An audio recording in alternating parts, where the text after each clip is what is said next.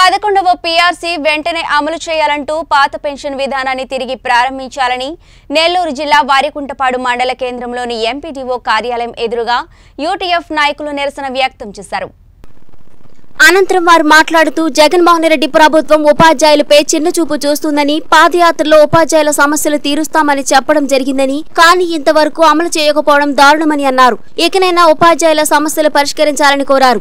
అనంతరం ఎంపీడీఓ సురేష్ బాబుకి వినతి పత్రం అందజేశారు.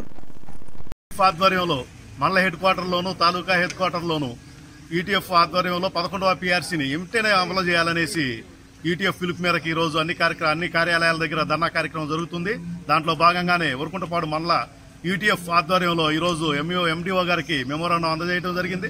మరి మన ముఖ్యమంత్రి గారు మూడు సంవత్సరాల నుంచి అదుగో ఇదుగో అంటూ పీఆర్సీని మాలుగా అమలు అమలు పరుస్తున్నామనేసి చెప్తూనే కలబొలి మాటలతో కాలం నిలబోస్తూ ఉన్నాడు.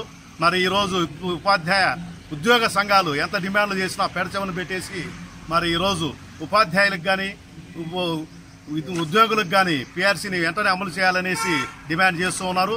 మరి ఈ కార్యక్రమంలో భాగంగా ప్రతిపక్ష నాయకుడిగా ఉన్నప్పుడు ఇమ్మీడియట్గా నేను అధికారంలోకి రాగానే వాళ్ళకి ఇంప్లిమెంట్ చేస్తామనేసి వాగ్దానం ఇచ్చున్నారు. మరి ఈ రోజు అధికారంలోకి వచ్చి మూడు సంవత్సరాలైనా కూడా పీఆర్సీని అమలు చేయకపోవటం ఇది ఉద్యోగ ఉపాధ్యాయ వ్యతిరేక విధానం తప్ప వేరేది కాదు. కాబట్టి మా యూటీఎఫ్ పక్షాన పద దాదాపుగా యాభై ఐదు శాతం తోటి ఫిట్మెంట్ ఇవ్వ ఇంప్లిమెంట్ చేయాలనేసి అలాగే సిపిఎస్ విధానాన్ని రద్దు చేయాలని ఈ వాయిదాల పద్ధతిలో కాకుండా ఉండేటటువంటి డిఏని వెంటనే ఇంప్లిమెంట్ చేయాలనేసి మా సంఘం తరఫున డిమాండ్ చేస్తూ ఉన్నాము.